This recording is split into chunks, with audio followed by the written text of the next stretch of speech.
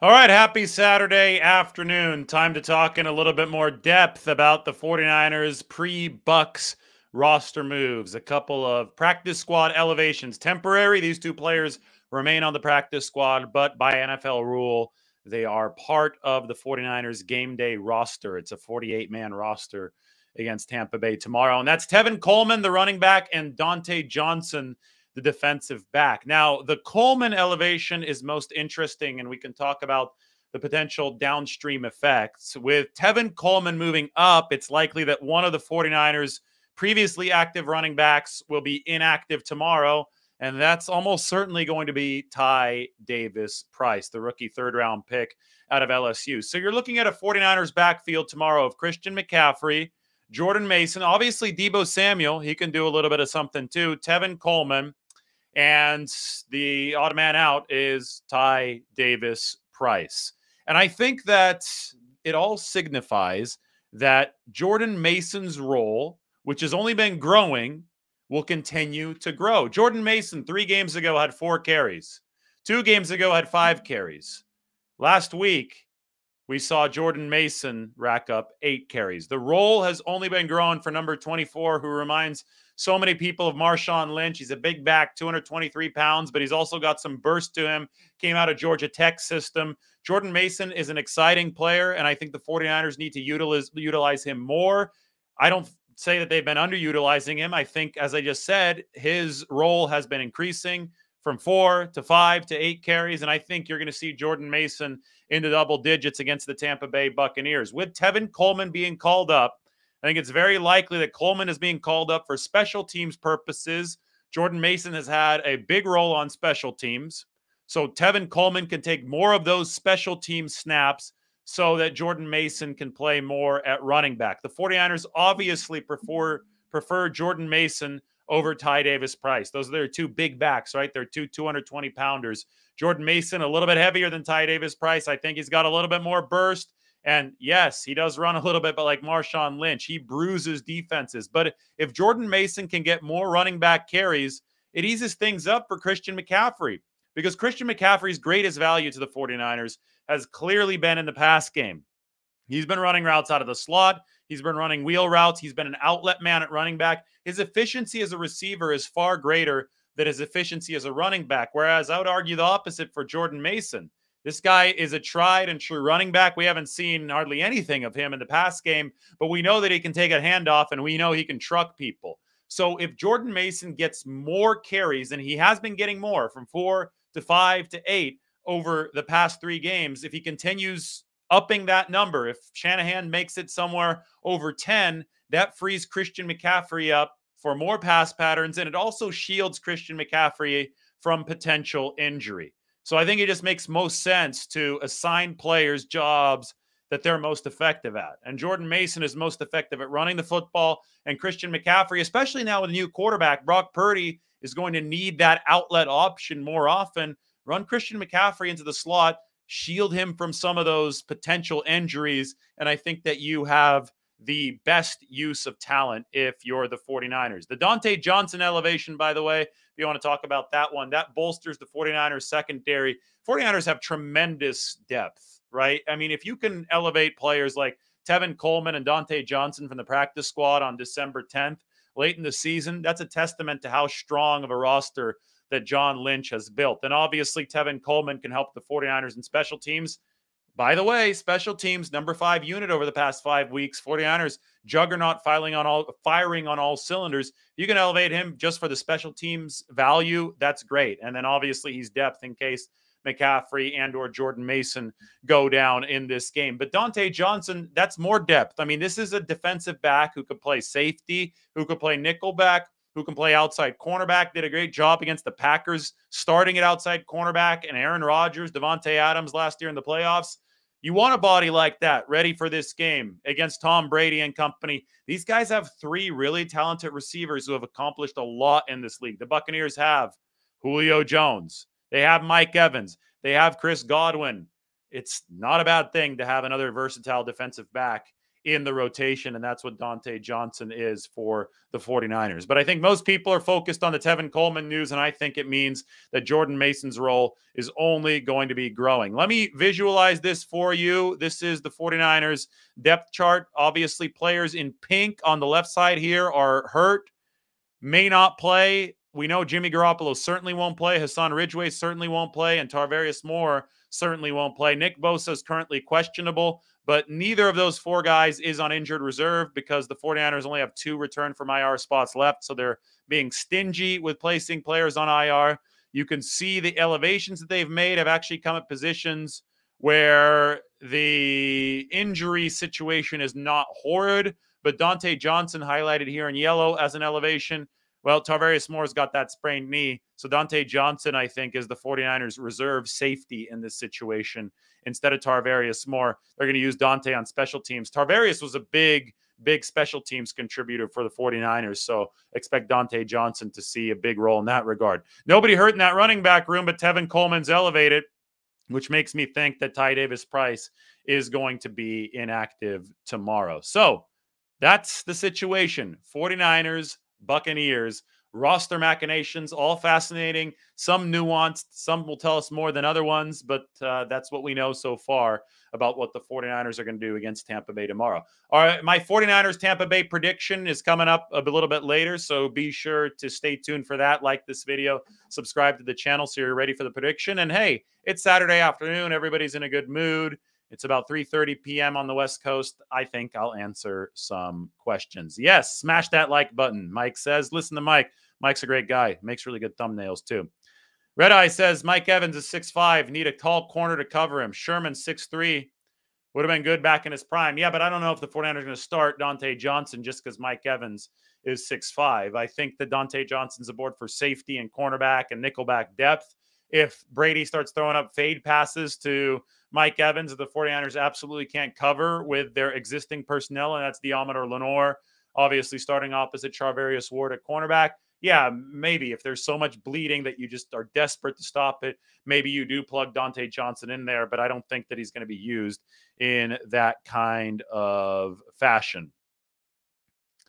The, I do think the Bucs safeties are going to miss this game. Mike Edwards, Antoine Winfield, they're both doubtful. Doubtful means they're probably going to miss this game, which means that the 49ers need to make some hay over the middle of the field. Now, we know that it's raining here in the Bay Area, a lot of rain here in the Bay Area. So I don't know exactly what the percentage chances are going to be post 1 p.m. tomorrow, but that might hurt the passing games for both teams. And generally, rain is going to help the team that's a little bit weaker in terms of the passing game, right? As far as their chances to win the football game because it neutralizes things. So I think rain might be a good thing for the 49ers in this football game because the Tampa Bay Buccaneers have Tom Brady and the 49ers are going to start a third string quarterback in Brock Purdy. The Buccaneers also have the number 30 rated run offense in the NFL. I know the 49ers run game hasn't been very good this year, but it's better than number 30. And if it's a rain game, that run offense is going to be a big deal.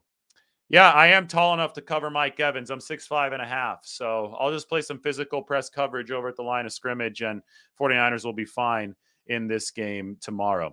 Let me put up my 49ers Buccaneers preview onto the screen here for you guys. Maybe we could talk a little bit about my driverless car experience yesterday as well, because that was a lot of fun.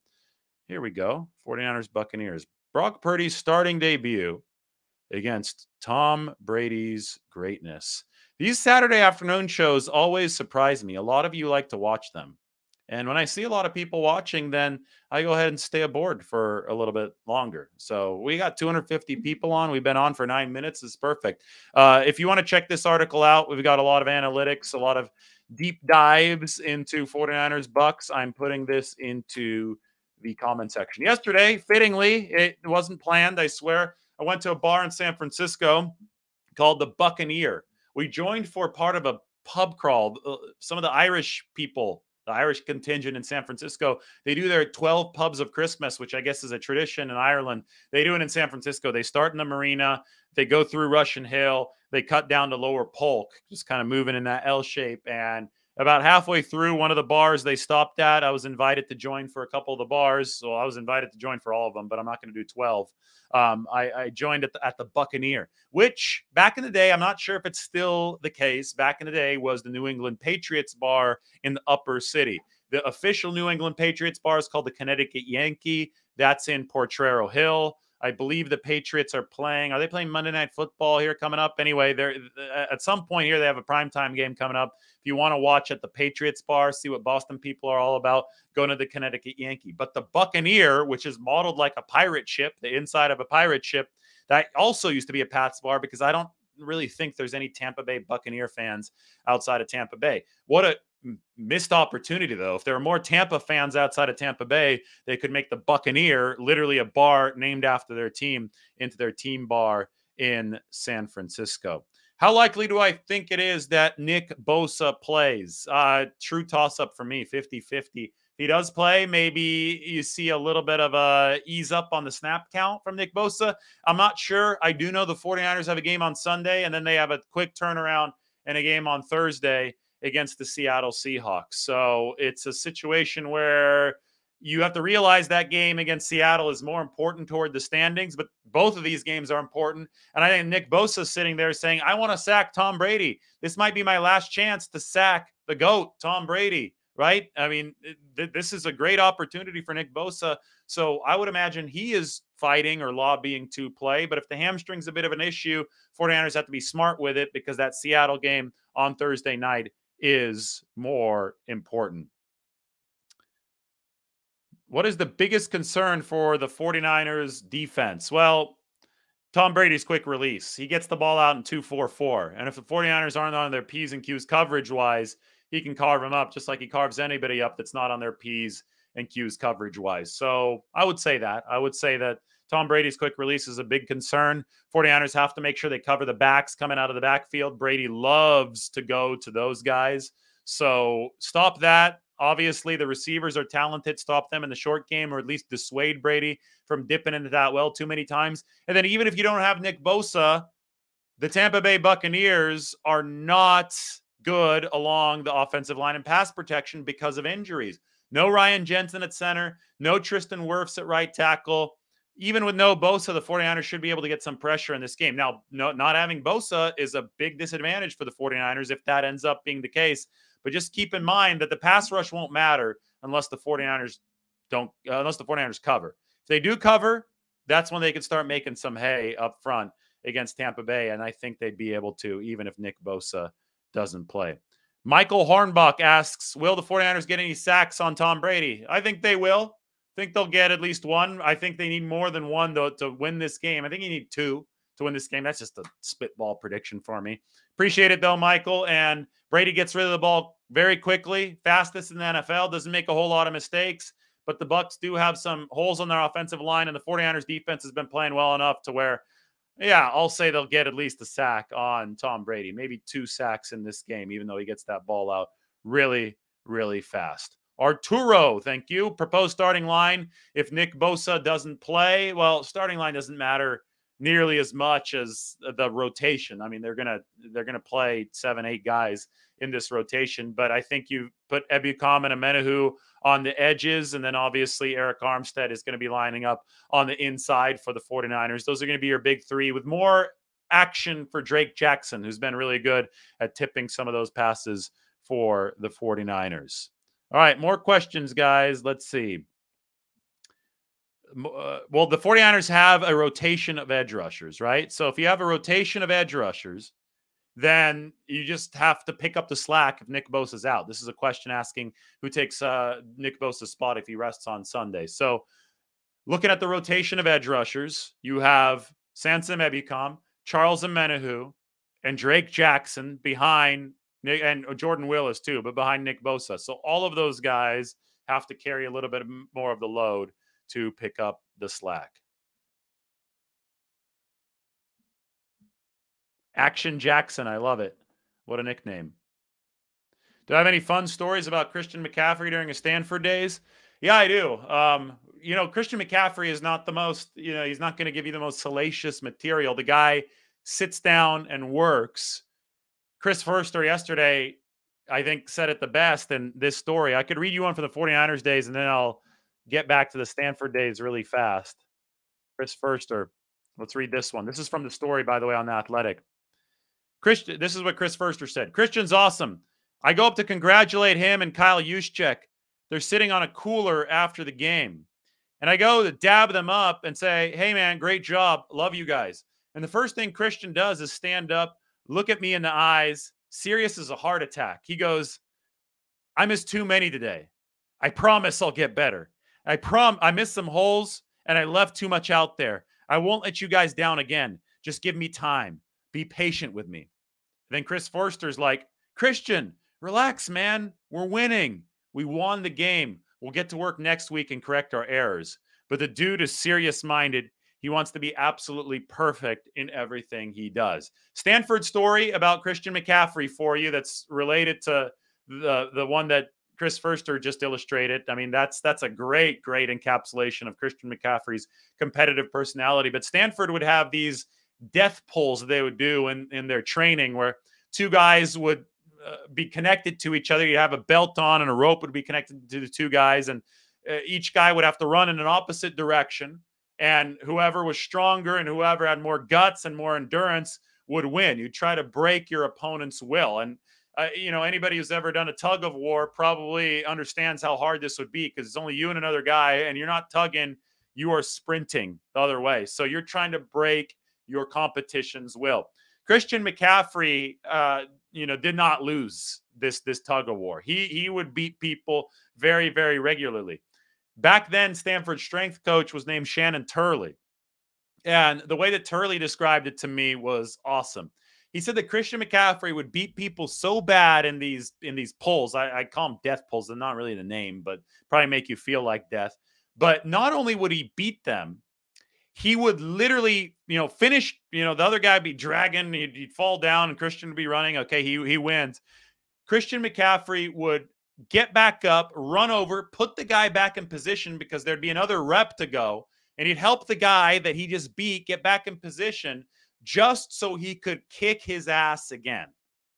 So he'd go help the guy that he beat get back in position just so he could beat him again.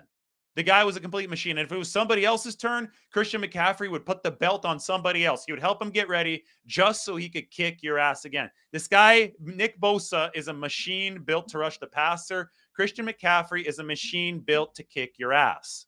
That's that's the long and short story of Christian McCaffrey training at Stanford. So if you want an exciting story about Christian McCaffrey, that's it right there. That's how he's wired. That's uh, I think really uh, related to the story that Chris Foerster shared.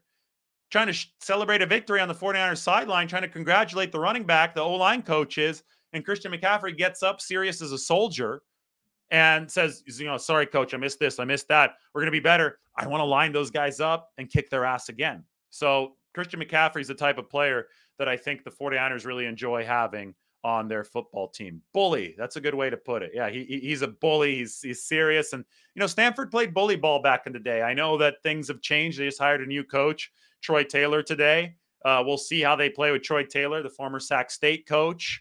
Uh, ran an explosive offense there. That was a crazy game against Incarnate Word last night. I was following the score on Twitter while I was out. But, um, you know, bully ball was Stanford's identity earlier in their run from Harbaugh to obviously that transition to the David Shaw era. That's when Christian McCaffrey was there.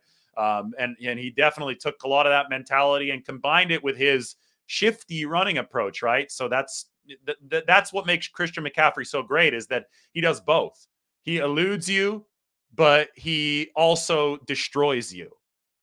He is so intensely focused on the task at hand because he is a machine built to kick your ass. And uh, it was a lot of fun to cover him at Stanford and obviously full circle for me when he came back to the 49ers. Sac State Hornets in the house. Say what's up to, I think his name is supposed to be a play on Mace Windu, a Star Wars character played by Samuel L. Jackson. I like that. Um, all right, let's get some questions up on the board. Who will be the right guard for the 49ers? Are they both ready to go? I'm going to guess they're going to keep on running their rotation because they are both ready to go. So Spencer Burford, but I don't know. Um, obviously Burford hadn't been available with the ankle sprain, but he's ready to go now. So Burford and Daniel Brunskill continue the Burford and Brunskill law firm along with Brendel and Banks. I mean, that's a it's a robust law firm the 49ers have up there. They've been doing a good job this season.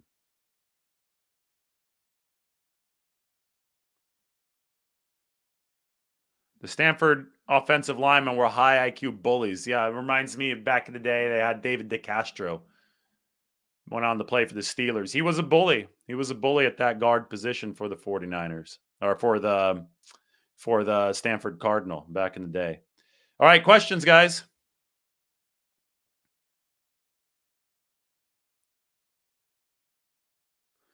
Do I believe that the 49ers can pass the Eagles and the Vikings? It's going to be really tough. Vikings, maybe Eagles.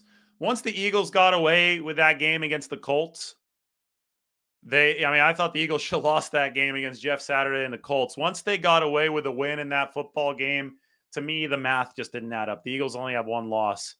Uh, the most realistic scenario, and even the best case scenario for the 49ers at this point, might be the number three seed, which would get you a home playoff game you wouldn't get the bye. But if you can lock up the number three sooner rather than later, then you can use the end of the season to rest guys, which would be a massive benefit entering the playoffs. That's why the team that gets that first round bye has such a higher probability. But you can close that gap. You can create a little bit of neutralization to the first round bye advantage if you lock up your own playoff seating a little bit early. So 49ers can only beat who's in front of them. They can't really worry about the Eagles and the Vikings. I think they're better than the Vikings for sure. I think the 49ers profile is very similar to the Eagles. Just make sure that you don't have a potential matchup with the Eagles until the NFC Championship game.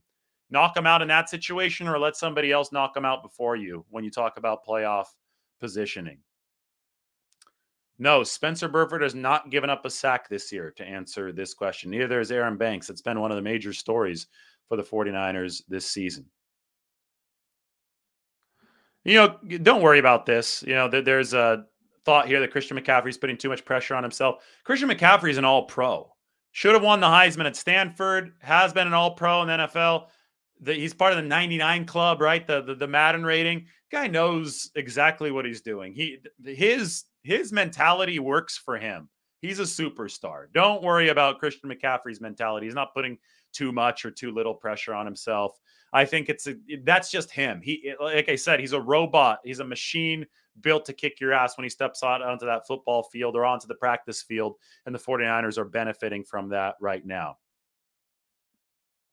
The 49ers, I mean, definitely have a better chance of getting the number 2 seed than the number 1 seed. That's I mean, Philadelphia's got a better record right now than Minnesota. Also, Minnesota is a worse team than Philadelphia. Minnesota is like a mediocre efficiency team that's won a ton of close games, has gotten a lot of good luck. I mean, think about the Josh Allen fumble on the quarterback sneak. Stuff like that has really helped the Vikings out. Whereas Philadelphia is legitimately a two way good team. I mean, Philadelphia is no joke, but neither are the 49ers. Neither are the Cowboys. Right now, it's a race between the Eagles, the Cowboys, and the 49ers to be the top contender in the NFC. But you can never forget about Mr. Brady, and the 49ers certainly won't this weekend because he's going to be in their house. Red Eye points out that precipitation is supposed to taper off at 1 p.m. in Santa Clara. Then the rain starts again at 4 p.m. Are the rain gods listening? Now, I think that rain might be in Tampa's favor. They've got the better passer. They obviously have Tom Brady, right? So that could, you know, neutralize that effect. Tampa Bay's got a terrible run game. If it rains and teams have to lean more on the run game, the 49ers haven't been great, but they have a better run game than Tampa Bay. And if Nick Bosa doesn't play, well, that loss is not felt as hard if the, the, the other team's not passing as much. So I wouldn't obsess too much about the rain. Both teams have to play in the, those conditions. I honestly don't think it would move the needle too far in either direction. But if there was a little bit of a, an advantage, it would be for the team that has the worst quarterback, right? And nobody's saying that Brock Purdy is better than Tom Brady. All right. Any more questions here? Let's go through all of them. You guys should hop on some people in the comment section and just beat the crap out of them. You should uh I, I I enjoy watching some of the fights in the in the in the comment section. You guys crack me up. Saturday, it's a more relaxed day. Let's see what people have.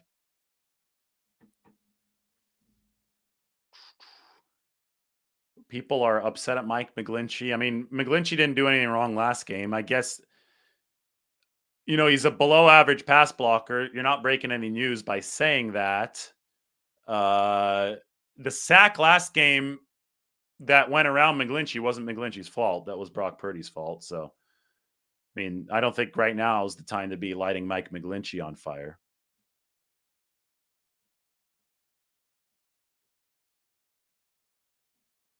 No, there is no thought to moving McGlinchey to guard. I mean, if you think he struggles in one-on-one pass blocking a tackle, what makes you think that he wouldn't struggle in one-on-one pass blocking a guard? The guy is on the lighter end. He's tall too. The guards, you want a lower center of gravity because you're working against guys with a lower center of gravity at defensive tackle. Uh, McGlinchey, again, he's a really good run blocker. He's long, he gets out into space. That's why they like him at tackle. That length should presumably help the pass blocking at tackle. He has not been horrific pass blocking this year. He had a really bad game against the Chiefs. I want to look up Mike McGlinchey's pass blocking uh, productivity. I don't want to put PFF up on the screen though, so I'm going to close that for you guys. Going to look it up right now. Let's see where uh, Mike McGlinchey's pass blocking productivity rating is. Just so we have some objectivity here. I check on this every few weeks. I haven't checked on it in a little while, so we will see. Uh, go by position.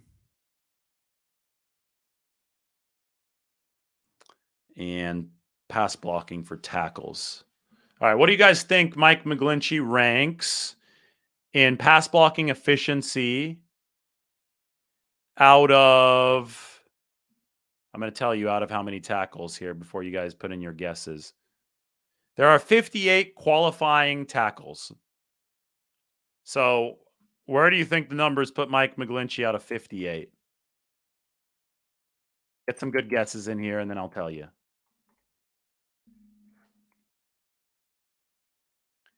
Waiting for some guesses. Out of 58 tackles, where does Mike McGlinchey rank in pass block efficiency? This is going to combine sacks, pressures, quarterback hits allowed. We have one guess, 42, another guess, 40th, 38th. One more guess. 48, 28, 34.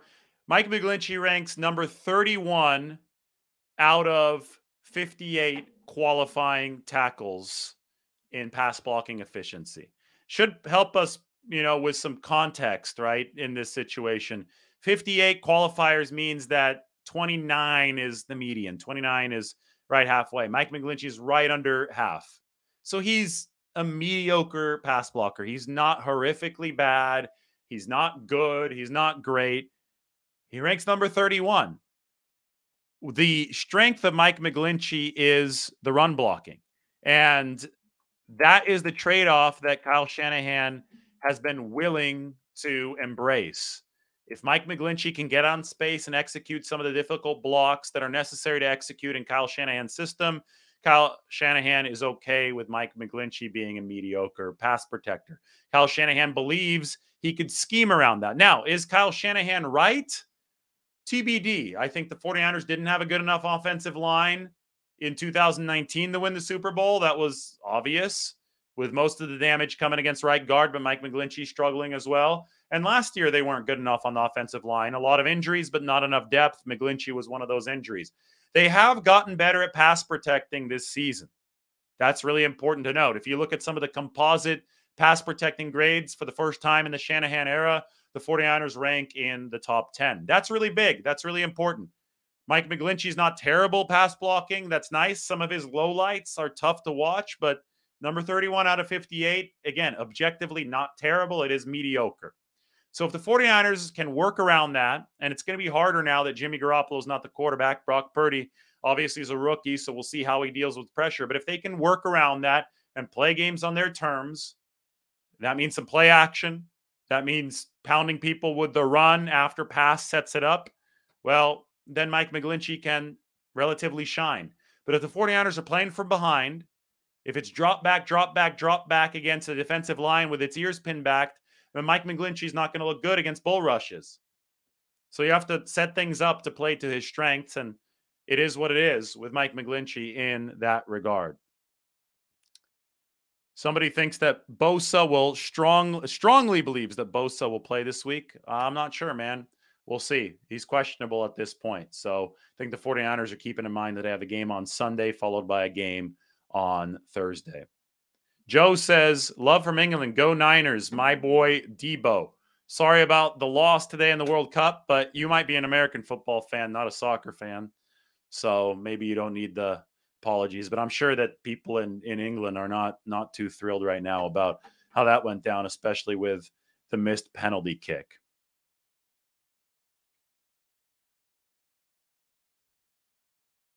Yeah, this is it. His few failures are spectacular, not for news clips, for social media clips. Social media can be really toxic, right? You can find a negative play, you can amplify it. That's why it's important to look at the numbers because you could see plays represented on the aggregate so you understand the big picture because that's what the decision makers are going to go by. They're not going to go by people dunking on each other on Twitter. Joe does not need a reminding. He came here to forget about the soccer game today. But the 49ers can help you forget about it tomorrow. My question is it's eight hours ahead time wise in England versus San Francisco. So the 49ers are going to start one plus eight tomorrow. So they're going to start at 925, I think. Yeah, 925. So that's not too bad, right? For Joe, Joe gets to watch the game at 925. Now, do you watch at home or do you have a pub that you go to? Are there a lot of 49ers fans out there? Uh, these are all questions I want to know. I know Brady was out in Europe earlier this year in Munich, and now you get to watch a game from England on the West Coast, eight hours ahead. I think that's going to be pretty cool.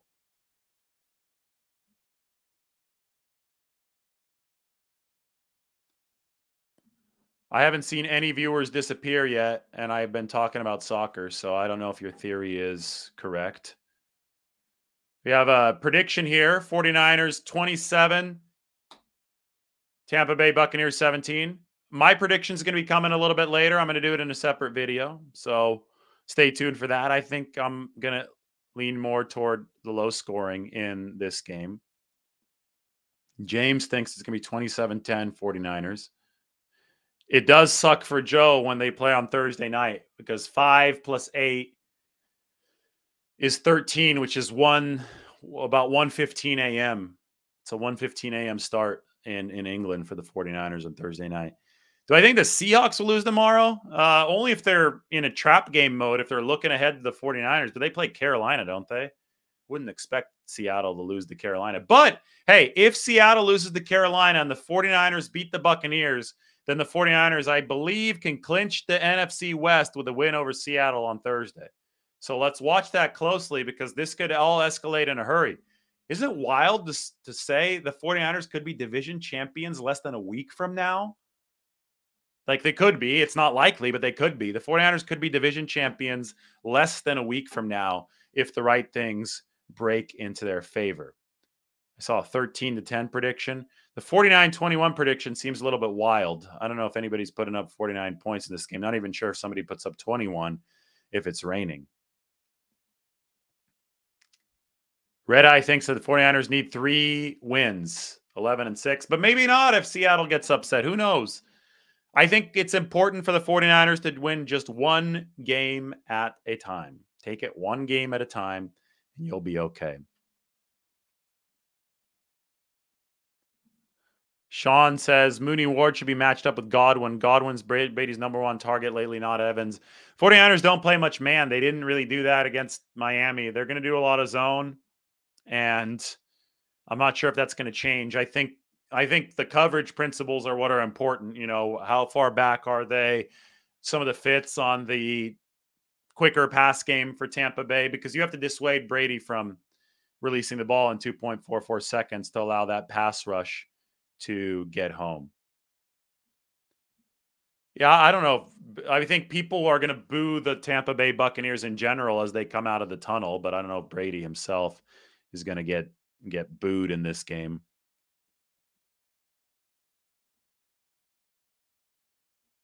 Joe checks back in. In England, American football doesn't get the support it deserves because people over here in England don't understand the rules. They say it's a worse version of rugby.